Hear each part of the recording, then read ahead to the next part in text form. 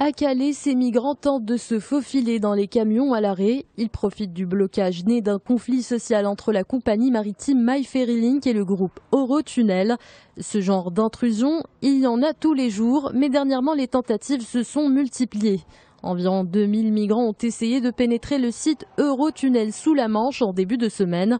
Il y a une vingtaine de jours, il n'était que 500 à vouloir franchir le cap.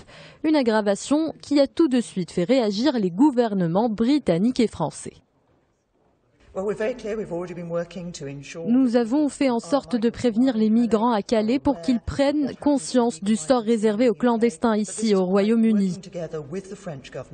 D'abord, travaillons ensemble avec euh, nos partenaires de l'Union européenne, avec les pays de provenance. 70% de ceux qui ont franchi les frontières extérieures de l'Union européenne depuis le début de l'année 2015 sont des migrants économiques irréguliers, qui ne relèvent pas du statut de réfugiés en Europe.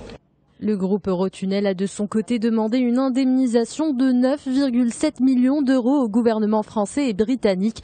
Il affirme en avoir besoin pour compenser ses dépenses et pertes d'exploitation causées par l'afflux de migrants depuis le 1er janvier 2015.